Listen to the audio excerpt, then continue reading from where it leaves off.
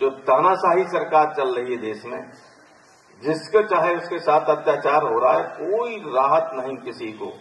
कोई ऐसी जगह नहीं है। बीजेपी के लोग कल हमसे कह रहे थे कि साहब, पहले तो सरकार में था, जो काम सौ रुपए में हो जाता था, अब एक हज़ार से कम नहीं लगता नीचे से लेकर ऊपर, चाहे तहसील हो, चाहे थाना हो, कहीं हो, ऐसी लूट हो रही है, क्योंकि जो सिब्बाल ने बताया कि बीजेपी के नेता की कोई सुनने वाला नहीं है जाए भी कोई अपने एमएलए एमपी से भाई हमें लूट रहे पैसा मांग रहे हैं।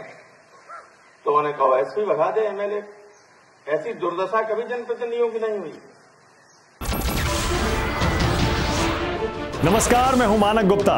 अगर आपको हमारा ये वीडियो पसंद आया हो तो इसे लाइक और शेयर ज़रूर करें।